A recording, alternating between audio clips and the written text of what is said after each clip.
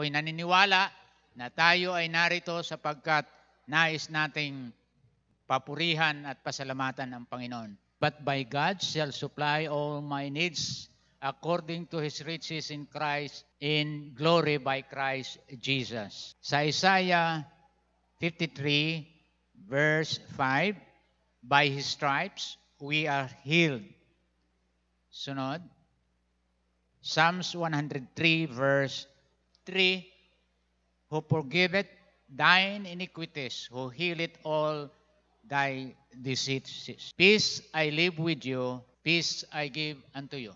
If God is for us, who can be against us? Sa Exodus 15, verse 26, sabi doon ay ganon. I am the Lord that healeth thee.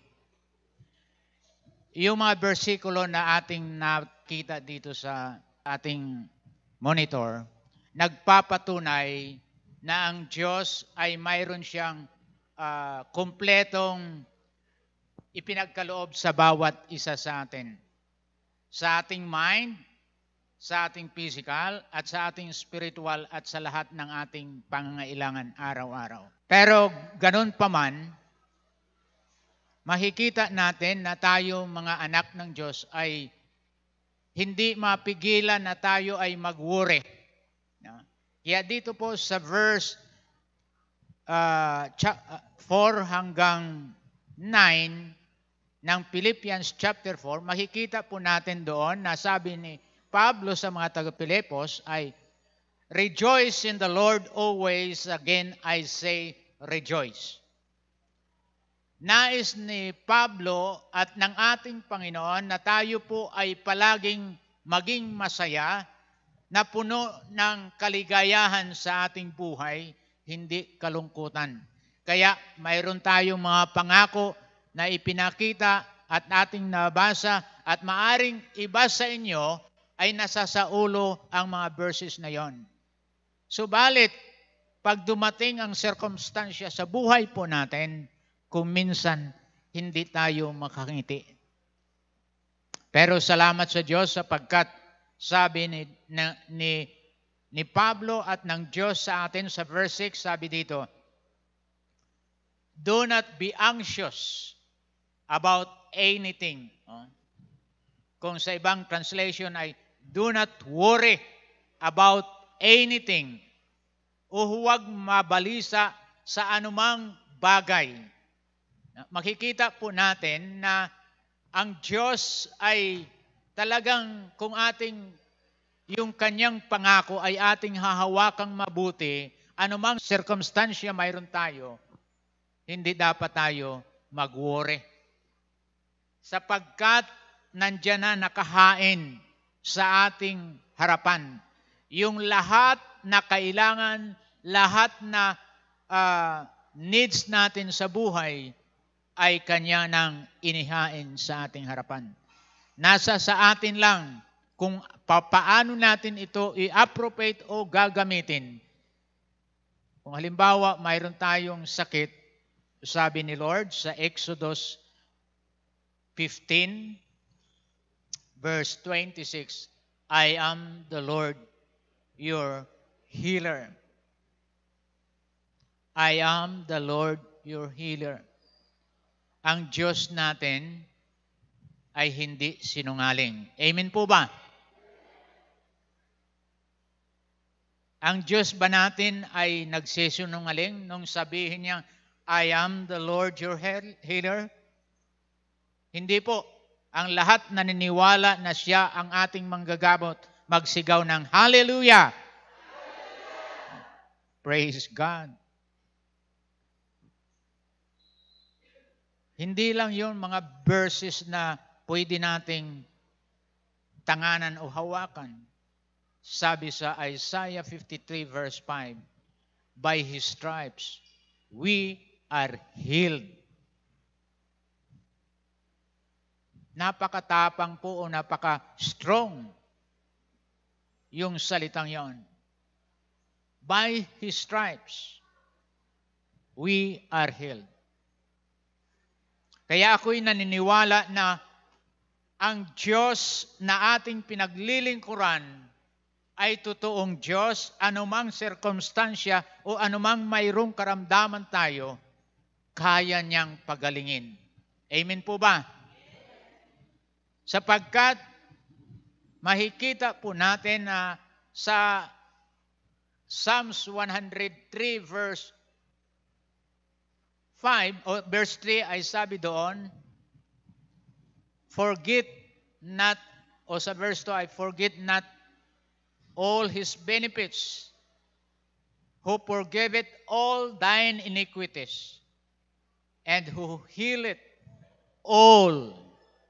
Pansinin po natin yung salitang all. Lahat. Lahat na karamdaman ay pinagaling niya tayo. Maraming magpapatutuo maging dito sa ating kalagitnaan kung papaano ang Diyos ay nagpagaling sa kanila. Salamat sa mga buhay nila na naging buhay na patutuo. Kaya anumang sitwasyon mayroon tayo, hawakan po natin at hindi po tayo dapat mag-worry sapagkat sabi ni, ng ating Panginoon ngayong umaga, stop worrying sapagkat ang pag-worry ay lalong na-aggravate ang ating karamdaman kung mayroon man. Alam niyo, pag tayo ay nag-worry, halimbawa, ang una nating i-worry, pag tayo ay magpapadoktor at magpapagamot, mayroon ba akong kayang halaga na ibibigay sa doktor? At pagkatapos, mayroon ba akong pambili ng maintenance araw-araw? Ang daming iwo-worry mo. Imbis na ikaw ay gumaling, lalong na-aggravate yung sakit mo. But the Lord is saying at this very hour, stop worrying Rejoice in the Lord always. Bakit? Sapagkat, sabi ni Lord, I am the Lord that healeth thee, who forgiveth all thine iniquities, and healeth all thine diseases.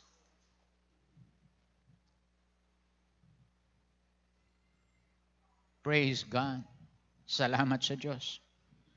Sapagkat siya ay totoong Diyos na anumang sitwasyon mayroon tayo, kaya niyang gawan ng paraan para yung anak na yon o ang sumasampalataya na anak na yon ay hindi mapapahiya sapagkat sabi ni Lord, who believeth in my name shall never be ashamed.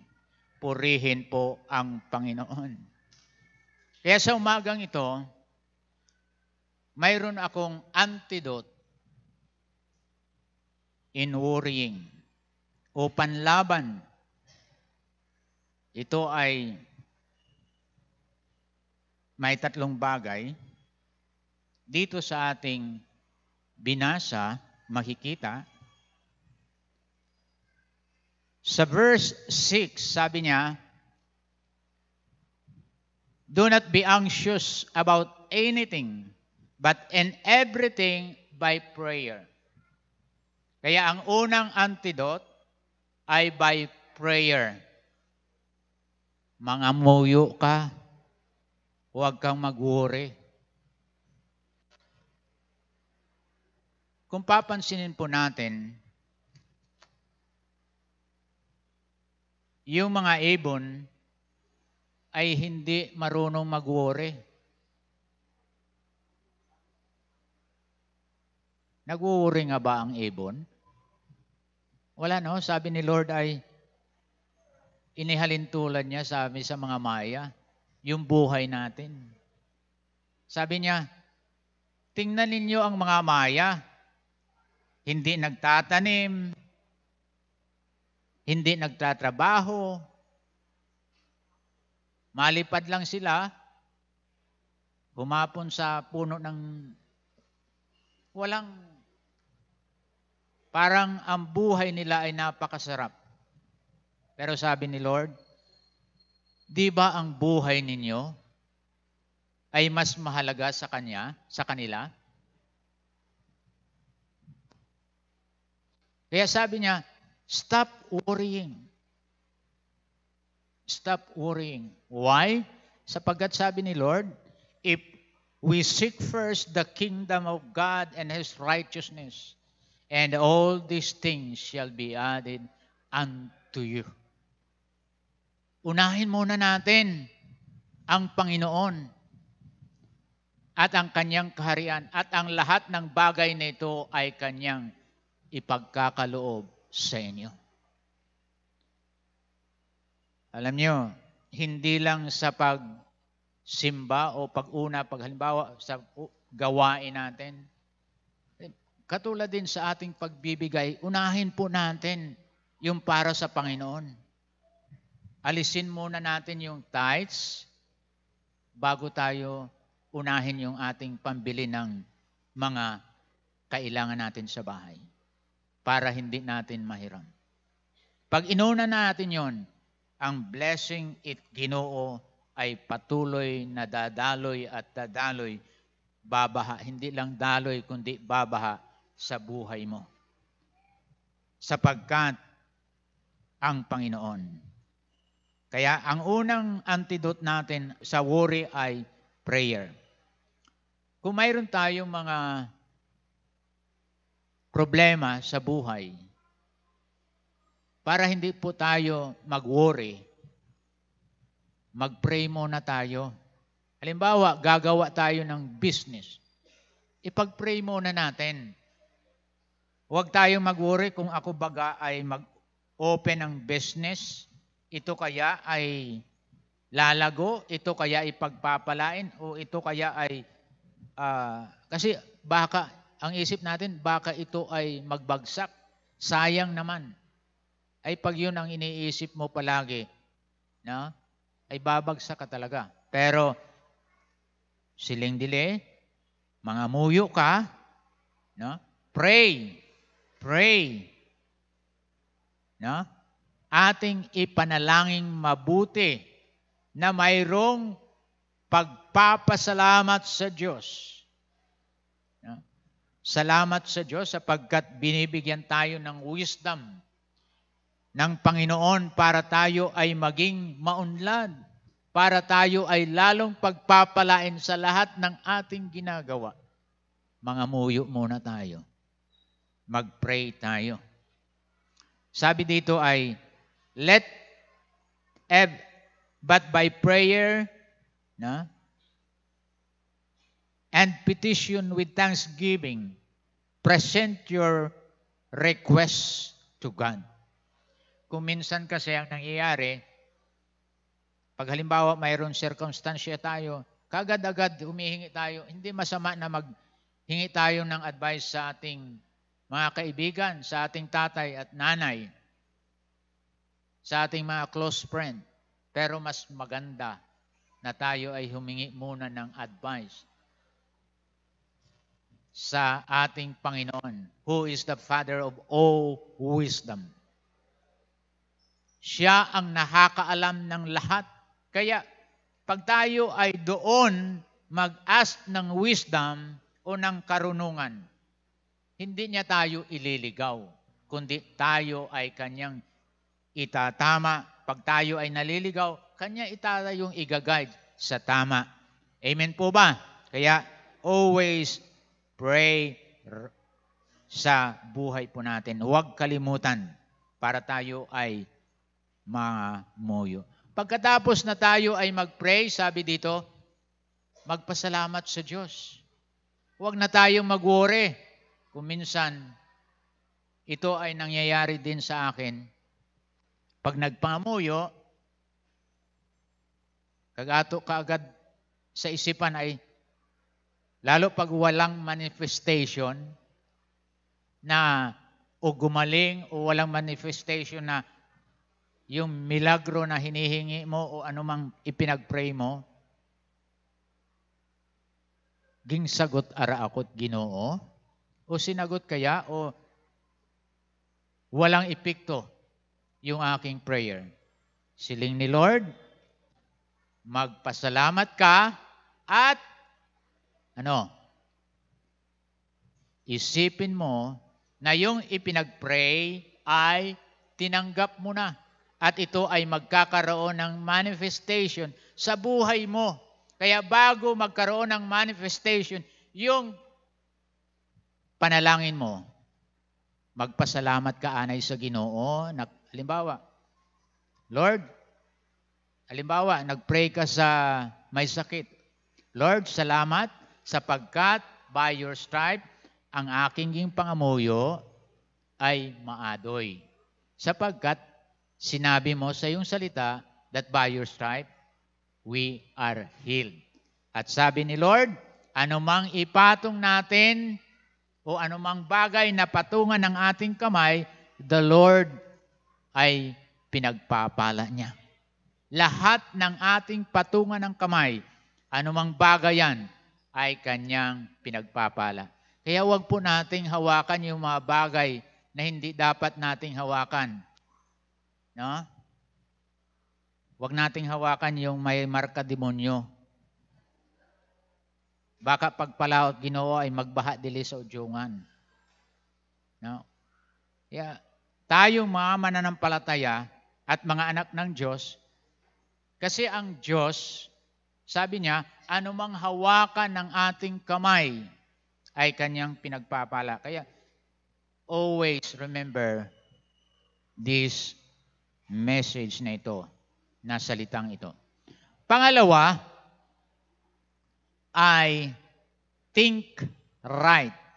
No? Sa verse 8, Finally, my brethren, whatsoever is true, whatever is noble, whatever is right, whatever is pure, whatever is lovely, what is, whatever is admirable, If anything is excellent or praise, think about these things. Kaya sabi dito ni Lord, think right. O tayo po ay mag-isip ng tama. Para magkaroon tayo ng tamang pag-iisip, sabi sa Colossians chapter 3 verse 2, let your mind sit on the things above. No? Set your minds on the things above. No? At sabi pa, na, pa ng, ni Pablo ay, let this mind, let the mind of Christ be in you. No? Let the mind of Christ be in you. Kaya sa lahat ng bagay na dapat nating isipin ay yung naayon sa kalooban ng Panginoon. At mayroon siya ditong in, in ging enumerate, sabi niya, finally my brothers, isipin po natin daw yung totoo, huwag yung chismis, isipin natin yung noble, isipin natin yung tama, isipin natin yung dalisay, isipin natin yung kaibig-ibig, isipin natin yung admirable, yung excellent or praiseworthy. Yung mga bagay na pwede nating papurihan o purihin ang bagay na yon. Kaya sabi niya, think of these things. Makikita po natin sa sa verse 7 na sabi niya sa huli, will guard your hearts and your minds in Christ Jesus. Kaya yung ating pag-iisip, kung ang kapayapaan it Diyos na nasa atin, no? sabi po sa verse 7, babasahin ko, And the peace of God with, which transcend all understanding will guard your hearts and your mind in Christ Jesus. Kaya, ang pangalawang antidote o panlaban sa worry ay mag-isip tayo ng tama. Ha? Huwag nating isipin yung mga bagay na hindi kaaya-aya sa kalooban ng Panginoon at alam kong tayo ay mawawala sa pag-worry.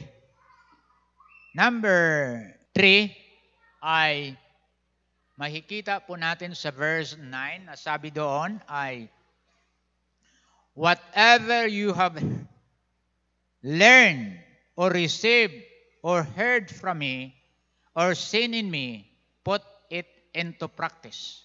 And the God of peace will be with you. Kaya, do what is right o gawin po natin ang tama. Alam kong nasa bawat isa sa atin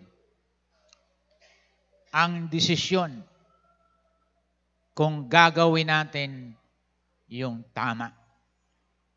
Kaya pag ating ginawa ang tama, yung pag-worry ay mawawala sa ating buhay.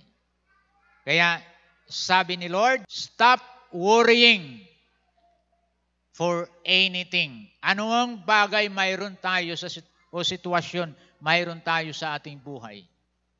Huwag po tayo mag, mga balisa o huwag tayo mag-worry sapagkat mayroon tayong Diyos na saan ay kaya niyang yung ating wino-worry ay pwede niyang baliktarin para sa kapurihan at kasiyahan ng kanyang mga anak.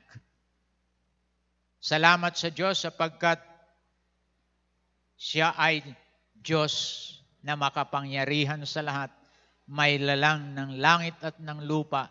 Kaya anumang sitwasyon mayroon tayo sa buhay po natin, kaya niyang gawin ang tama para sa kanyang mga anak. Kaya yung attitude natin po sa buhay po natin, para lalo tayong pagpalain ng Diyos, para lalo tayong maranasan natin yung kapangyarihan at ang kanyang kaluwalhatian sa buhay po natin. Anumang sitwasyon, stop worrying and still rejoice. Katulad ng sabi ni Pablo, rejoice again, I say rejoice sapagkat ito ay kalooban ng Diyos para sa bawat isa sa atin. Lalo nating makikita yung kapangyarihan ng Diyos sa sitwasyong ganito.